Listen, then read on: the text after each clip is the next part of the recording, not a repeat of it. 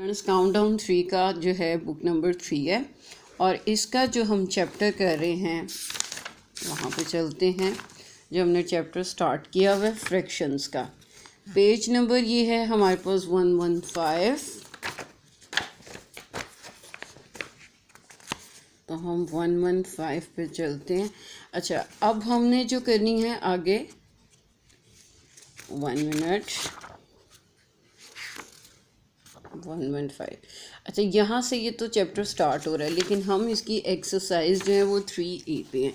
तो आगे चलते हैं, ताकि इसकी एक्सरसाइज थ्री पे हम आ जाएँ।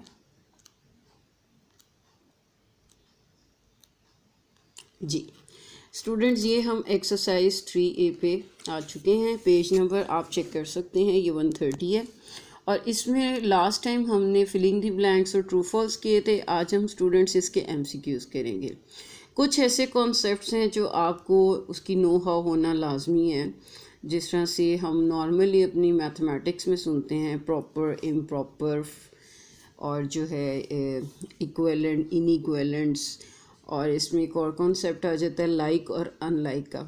सबसे पहले ये चीज़ें आपको समझना होंगी ताकि आप इसको आसानी से समझ सकें, ये एम सी क्यूज़ को आसानी से कर सकें।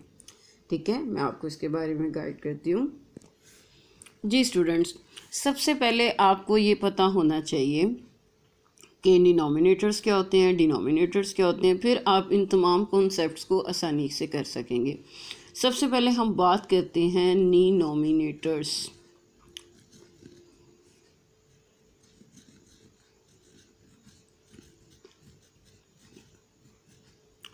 डिनोमिनेटर जो होती है, ये आपकी अबव वैल्यू होती है सपोज़ कुछ भी लिखा हो।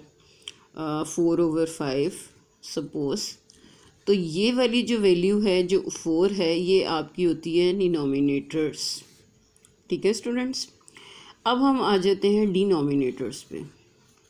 डी नो मी नेटर्स मैं इसको ब्रेक करके इसलिए करती हूँ ताकि इसके स्पेलिंग्स जो हैं वो क्लियर रहें स्पेलिंग्स जो हैं वो ख़राब ना हो. ये जो नीचे वाली वैल्यू है, इसको हम कहते हैं डिनोमिनेटर्स जब आपको ये डिनोमिनेटर्स और डिनोमिनेटर्स का पता होगा तो आसानी से जो कॉन्सेप्ट्स मैं आपको करवा रही हूँ वो आप कर सकते हैं।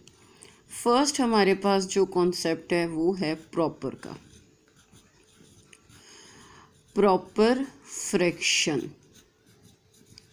फ्रैक्शन का चैप्टर है। प्रॉपर फ्रैक्शन के अंदर स्टूडेंट्स एक चीज़ आप नशीन कर लें हमेशा। प्रॉपर फ्रैक्शन के अंदर जो अबव वैल्यू है, जिसमें ये है फोर और नीचे मैंने फाइव लिखा है तो फोर जो है फाइव से स्मॉल है। अगर आप देखें तो फोर फाइव से स्मॉल है। तो हमेशा प्रॉपर फ्रैक्शन के अंदर ऊपर वाली जो वैल्यू अप वैल्यू जो है, वो नीचे वाली वैल्यू से स्मॉल होती है। ठीक हो गया स्टूडेंट्स सेकेंडली अगर हम आ जाए इम प्रॉपर फ्रैक्शन में तो आप ये सोच लें कि ये प्रॉपर फ्रैक्शन का रिवर्स है। ठीक है? इम प्रॉपर फ्रैक्शन जो है प्रॉपर फ्रैक्शन का बिल्कुल इनवर्स है, यानी उल्ट है ऑपोजिट है। अब फाइव ऊपर आ जाएगा और फोर नीचे। इट मीन्स डैट कि फाइव फोर से इंक्रीजिंग वैल्यू यानी बड़ी वैल्यू है। तो हम लिख देंगे यहाँ पे बिग ठीक हो गया स्टूडेंट्स एक दफ़ा रिपीट करती हूँ प्रॉपर फ्रैक्शन में ऊपर वाली वैल्यू नीचे वाली वैल्यू से स्मॉल होती है इम प्रॉपर में ऊपर वाली वैल्यू नीचे वाली वैल्यू से बिग होती है। अब हम आ जाते हैं लाइक पे। लाइक फ्रैक्शंस क्या होते हैं? स्टूडेंट्स लाइक फ्रैक्शन के अंदर बेसिकली दो चीज़ों का एक जैसा होना है तो हम उसको लाइक फ्रैक्शन कहते हैं। सपोज़ मेरे पास फोर ओवर फाइव है और यहाँ पे नाइन ओवर फाइव है। ठीक है? तो ये जो इसका डिनोमिनेटर है, ठीक है? नीचे वाली वैल्यू को हम डिनोमिनेटर कहते थे, ये बिल्कुल सेम है। तो इसको हम क्या कहेंगे? लाइक फ्रैक्शन हमेशा आप याद रखिएगा लाइक फ्रैक्शन के अंदर डिनोमिनेटर्स सेम होते हैं। अब हम आ जाते हैं अनलाइक फ्रैक्शन पे।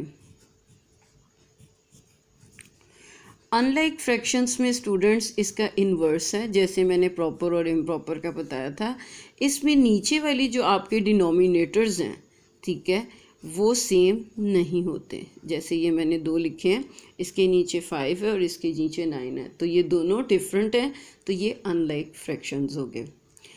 अब स्टूडेंट्स हम बात करते हैं इक्वेलेंट की। ज़्यादातर जो स्टूडेंट्स हैं वो इक्वेलेंट पे इशू करते हैं कि भाई हमें जो है ना इक्वेलेंट की नहीं समझ आती। हालाँकि इक्वेलेंट जो है, ये बहुत इजी है, ये इक्वल से निकला है। जो इक्वल का साइन आपने देखा हो, ठीक है? तो ये इक्वल से निकला है इक्वेलेंट इस इक्वेलेंट के अंदर सिंपल आपने क्या करना होता है? सपोज़ मैं यहाँ पे nine sorry three over twenty seven suppose ले लेती हूँ। अपनी तरफ़ से फ़र्ज़ी मैंने ये एग्जांपल्स लिए हैं। और यहाँ पे मैं वन ले लेती हूँ और नीचे मैं नाइन ले लेती हूँ। अब मैंने आइडेंटिफाई करना है क्या ये वैल्यू इस वैल्यू के इक्वल है। तो मैं इसको कट करूँगी। थ्री वन ज़ार थ्री थ्री नाइन ज़ार ट्वेंटी सेवन इसका मतलब है वन बाय नाइन जो क्रॉस करके आया और वन बाय नाइन इक्वल है। ठीक है? इसलिए इसको क्या कहते हैं? इक्वेलेंट ये इसका इक्वेलेंट यानी three over twenty seven one over nine का इक्वेलेंट था। अब बात करते हैं स्टूडेंट इन इक्वेलेंट की। इन इक्वेलेंट अच्छा इसमें ये कॉन्सेप्ट होता है, यहाँ पे तो आपका क्लियर कट इक्वल आ गया ना। सपोज़ आपको वैल्यू दी जाती है, कोई भी वैल्यू दी जाती है, जिस तरह टू ओवर ट्वेंटी सेवन ही हम ले लेते हैं, जो थ्री ओवर ट्वेंटी सेवन वाली पहले ली थी, और यहाँ पे मैं वन ओवर नाइन ले लेती हूँ। अब ये टू ओवर ट्वेंटी सेवन और वन ओवर नाइन ठीक है? बिल्कुल भी आपस में नहीं मिलते, इसलिए ये इन इक्वेलेंट फ्रैक्शंस हो जाएँगे।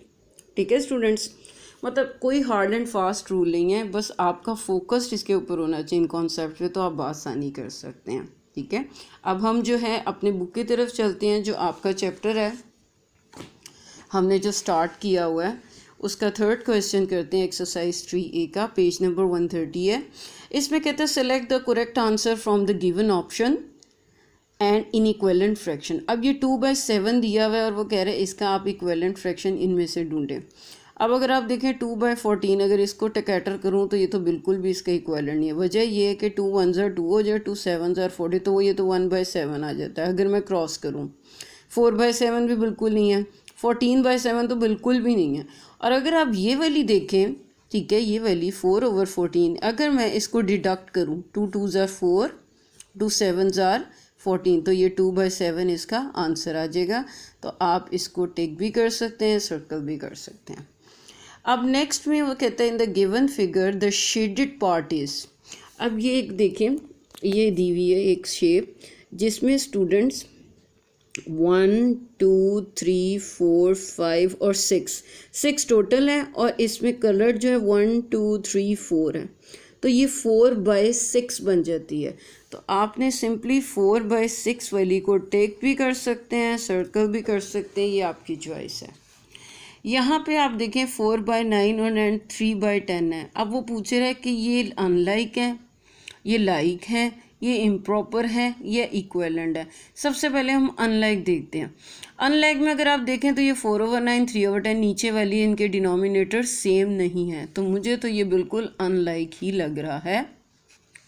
और लाइक तो बिल्कुल भी नहीं है और इम्प्रॉपर भी बिल्कुल नहीं है। ऊपर वाली वैल्यू जो है, नीचे वाली वैल्यू से बड़ी नहीं है और इक्वेलेंट तो बिल्कुल भी नहीं है। तो इसका करेक्ट आंसर अनलाइक फ्रैक्शन है। आगे देखें तो थर्टी सेवन ओवर फाइव है। इस वो कहते हैं, क्या ये लाइक फ्रैक्शन है? लाइक फ्रैक्शन में तो दो चीज़ें होनी चाहिए। ये कहते कहते ये इम्प्रॉपर है। हाँ जी, कह सकते हैं। क्यों? बिल्कुल कह सकते हैं कि इम्प्रॉपर है, क्योंकि ऊपर वाली वैल्यू नीचे वाली वैल्यू से बड़ी है।